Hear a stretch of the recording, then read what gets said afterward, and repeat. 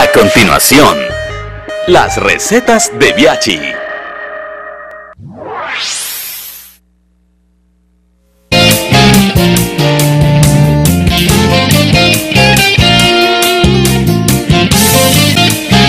Presentamos las recetas de Biachi con el auspicio de la inspiración que necesitas para sorprender a tu familia todos los días es ya.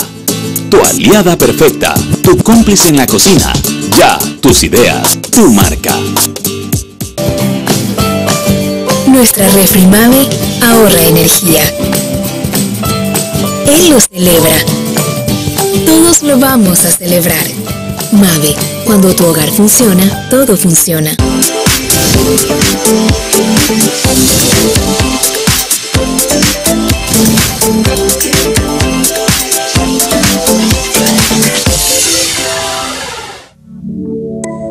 No, ahora limpio yo. No, no, no, no, limpio yo. No, yo también quiero limpiar. Nuevos productos de limpieza Master Brill. Hay uno específico para cada necesidad. Yo lavo los platos. Con Master Brill, limpiar es un placer. Y tenía que ser Master.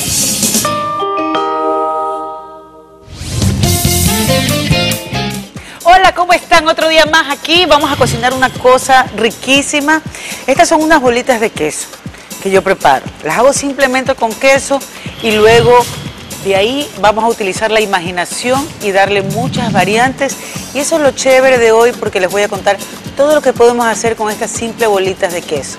De dónde nace la, eh, receta y cómo se preparan es lo que debemos de saber.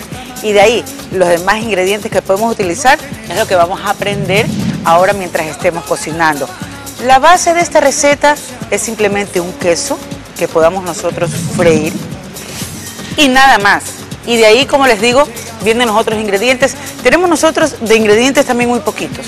Me acuerdo tanto que cuando yo empecé a cocinar no me gustaba cocinar con muchos ingredientes porque decía que ensuciaba más y por eso aprendí a cocinar con poquitos ingredientes. Y aquí otra receta que les voy a preparar que les voy a enseñar a ustedes con muy poquitos ingredientes. Vamos a ver ahorita cuáles necesitamos. Bolitas de queso cheddar, 4 tazas de queso cheddar rallado, 3 cuartos de jamón bien picadito, un huevo, una cucharada de cilantro picado, un cuarto de taza de harina, aceite para freír. Bueno, vieron poquititos ingredientes y sin, sin, embargo podemos reducir esta cantidad de ingredientes simplemente a tres, al queso, a la harina y al huevo. El jamón y el cilantro están decolados hoy día, el día de hoy para darles un sabor diferente a estas bolitas cheddar y mozzarella que vamos a hacer fritas y que si usted las prepara conmigo va a ver que va a quedar como una reina y todo el mundo se le va a chupar los dedos. Tips de cocina. Si utilizó la clara de los huevos, pero no desea perder la yema, solo debe guardarlo en un recipiente. Luego cubrir con agua y guardar en la nevera o refrigerador. Tips de cocina. Después de cortar algunas frutas, como la manzana y la pera, estas comienzan a oscurecerse. Para evitarlo, después de pelarlas, colóquelas en agua fría con el jugo de un limón por al menos 20 minutos y eso es todo. Conservarán su color natural y a la hora de hacer una ensalada de frutas se verá mucho mejor. Bueno, hemos regresado y vamos a preparar las bolitas, son sencillitas de hacer. Yo les dije que la base de las, de las eh, bolitas eran el queso, que es un queso de una combinación de mozzarella con cheddar, los dos rayados.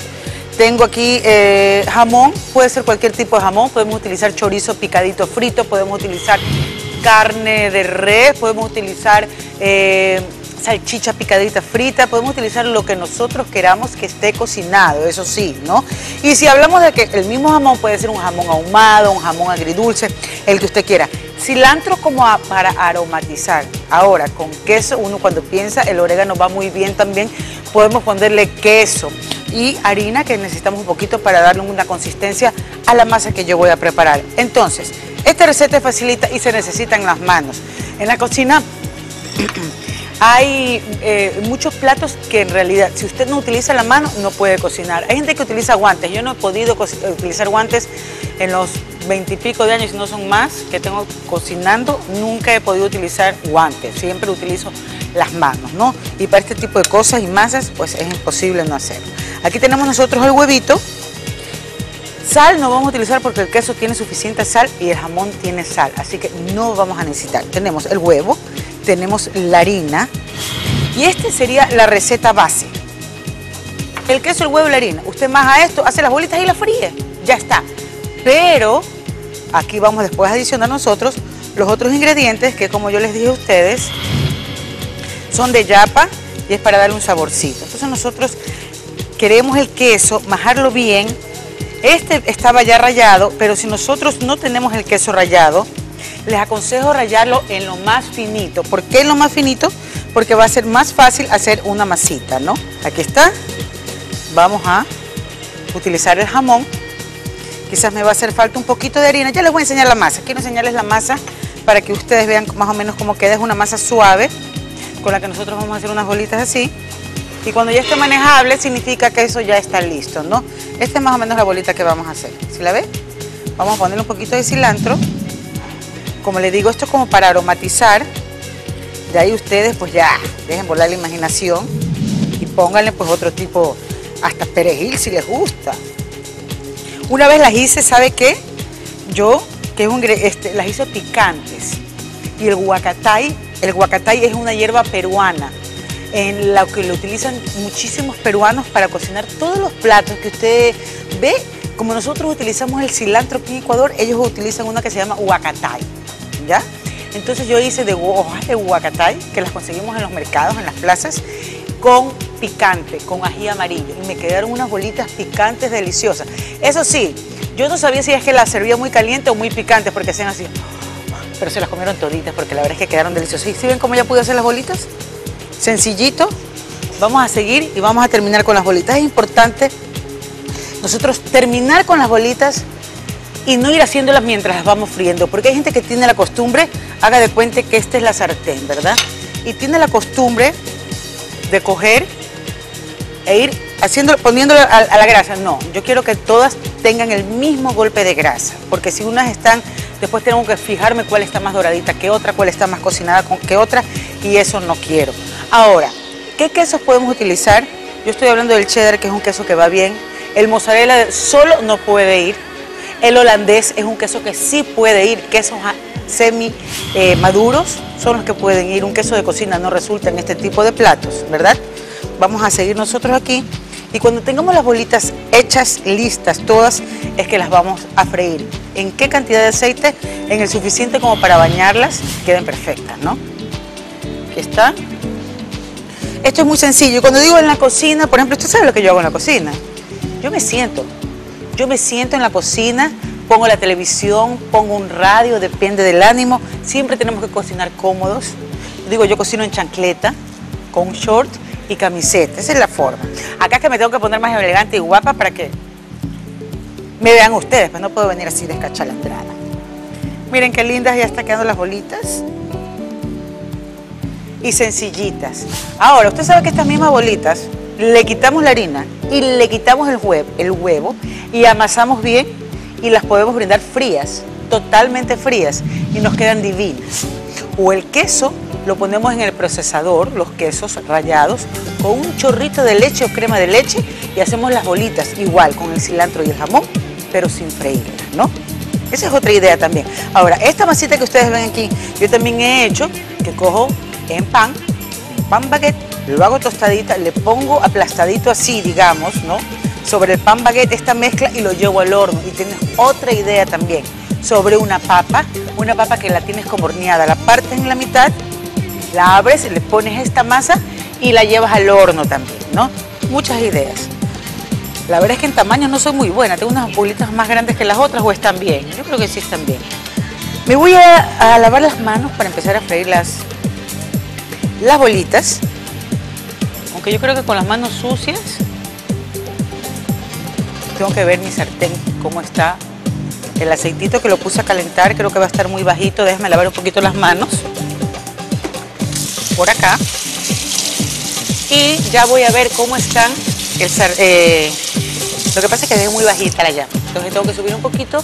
La llama no. La llama decimos nosotros, aunque esta es una cocina de inducción, la cocina que está de moda, la cocina que utilizamos, utilizamos todos, ¿verdad? Vamos a, subirle la temperatura un poquito. Bueno, déjame coger una espumadera para poder freír las bolitas. Ya tengo unas hechas. Y vamos a ver que nuestro aceite tiene que estar caliente, ¿verdad? Con una bolita. Cuando ya burbujea, significa que el aceite está caliente y nosotros podemos colocar las bolitas. Si es una ollita pequeña, no cometamos nosotros, si ven cómo yo las puedo hacer, no cometamos nosotros el error por ser apurados y todo, de poner muchas bolitas al mismo tiempo. ¿Por qué? Primero porque bajamos la temperatura del aceite. Bajamos mucho la temperatura del aceite y nos vamos a demorar más en freír aunque usted no lo crea, ¿verdad? Entonces nosotros debemos de cuidar eh, y no poner muchas al mismo tiempo. A no ser que tengamos ya pues una olla más grande donde vamos a freír, ahí sí podemos utilizar nosotros más bolitas. Aquí estamos ya friéndola. ¿Sabe cuánto tiempo se demora esto? Nada, esto se va a dorar inmediatamente y vamos a ponerla sobre un papelito toalla para absorber la mayor cantidad de grasa posible. Mira, aquí vamos a ponerla a un ladito y cuando las bolitas ya se empiezan a dorar, yo ya las veo que ya se empiezan a dorar, nosotros las vamos a sacar y vamos a seguir friendo. Ya vieron que esto se hace en un 2x3 y estas bolitas quedan realmente maravillosas. Estas de aquí tienen menos textura, le puse menos cantidad de harina. ¿Cuál es la diferencia entre más harina y menos harina? Menos harinas más delicadas, más harina, más redonditas, más bonitas porque van a tener más, más con textura, ¿no? Ahí están. Vamos a virarlas. Si las ven, ya mismo. Wow. Está grande esta espumadera para esta, esta ollita chiquita. Como peleadas conmigo día, no sé qué es que les pasa. Aquí. Ven. A este punto, ¿cómo sé yo que ya están listas las bolitas? Sencillo, simple, cuando estén doradas. Ese va a ser el único eh, factor que usted tiene que ver para hacer las bolitas. Entonces yo cojo las bolitas en la espumadera, ¿se les ve? Sobre el papelito toalla. Sobre el papelito toalla y sobre el papelito toalla. Y para ponerlas, en vez de tirar, uno nunca hace esto, ¡boom! No, se quema. Si usted le tiene miedo a la... No hay que tenerle miedo, mire, usted mete la mano así, no, no tenga miedo. Pero si usted le tiene miedo, usted lo que puede hacer es esto, ponerlo en la espumadera y bajarlo. Pero no hay que tenerle miedo a no ser que esté chispeando durísimo, que ahí sí hay que salir corriendo. Pero si no, no le tenga miedo. Yo me voy a quedar haciendo más bolitas porque tengo un poquito más de masa, porque después no le alcanza para todo. Yo creo que tú te quedaste sin parte, ¿no? No, dice. No, imposible. La primera se la voy a dar a él. Vamos a ir a una pausita. Me quedo haciendo las bolitas, las freímos para que estén todas listas, obviamente deliciosas. Tips de cocina. Para cortar tocineta, tocino en pequeñas tiras, primero colóquelo en el congelador durante unos 15 minutos. Esto hará que la carne esté más firme, de manera que cortarla sea más fácil. Tips de cocina. Para evitar olores, se recomienda colocar en una olla pequeña agua, canela, cáscara de naranja y un poco de vainilla. Deje hervir la preparación a fuego suave mientras está cocinando. Verá cómo el ambiente cambia. Ya están listas las bolitas y están deliciosísimas. Le pusimos un poquito de cilantro encima, aunque lo mejor, les cuento, es comérselas solitas o con una mostaza con miel. O preparamos, por ejemplo, un poquito de mayonesa, le ponemos mostaza, le ponemos miel. Si no tenemos miel, le ponemos un poquito de azúcar impalpable. No nos compliquemos. Y le ponemos también este, un toquecito de ajo. Y servimos estas bolitas y nos queda divino. O simplemente con mostaza, con un poquito de miel, también nos quedan espectaculares. La he hecho con mucho cariño, así le ponemos así el piquete así aniñado. O sea, nosotros podemos dar un piquete aniñado simplemente con un poquito de cilantro. Y ahí mire que va a quedar muy bien. Estas bolitas, es otro plato que he hecho para ustedes con mucho cariño. Escríbame, llame por teléfono, ponga en mi Instagram, donde usted quiera. Para, y yo la complazco porque la complazco. Qué lindo haber estado cocinando otro día más. Los quiero muchísimo y un besito y ya mismo nos volvemos a ver. Con el auspicio de... La inspiración que necesitas para sorprender a tu familia todos los días es Ya. Tu aliada perfecta, tu cómplice en la cocina. Ya, tus ideas, tu marca. Nuestra refri Mave ahorra energía. Él lo celebra. Vamos a celebrar. Mave, cuando tu hogar funciona, todo funciona.